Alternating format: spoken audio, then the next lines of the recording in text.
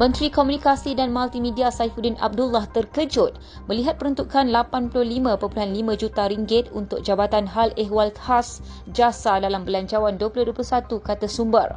Sumber juga memaklumkan bahawa Saifuddin tahu jabatan itu hendak dihidupkan semula tetapi beliau tidak dimaklumkan jumlah peruntukannya yang kini jadi perhatian umum selepas Belanjawan 2021 dibentang di Dewan Rakyat pada Jumaat lalu.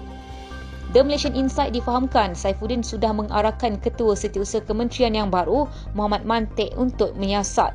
Bekas KSU Kementerian Komunikasi dan Multimedia KKMM Suryani Ahmad mengambil tempat Muhammad di Kementerian Pembangunan Usahawan dan Koperasi. Pertukaran mereka berkuat kuasa minggu lalu.